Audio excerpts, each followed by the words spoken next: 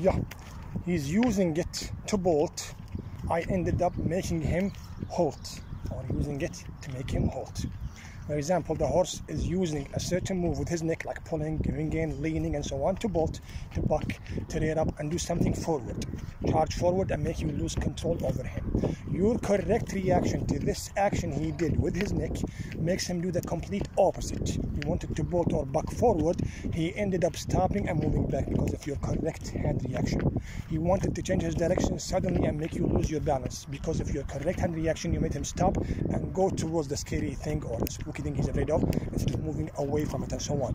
So the thing he wanted to use to bolt was used by you with the correct hand reaction that made him halt, do the complete opposite.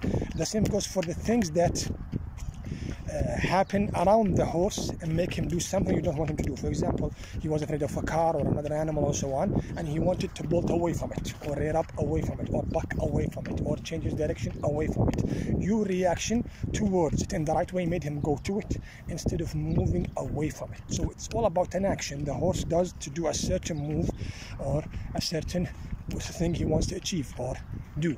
If your reaction to it was correct, you will end up controlling him in that move and making him do the complete opposite. If your reaction to it was wrong, he will end up actually doing it against you or using it against you. So he did something to bolt. My correct reaction to it made him halt.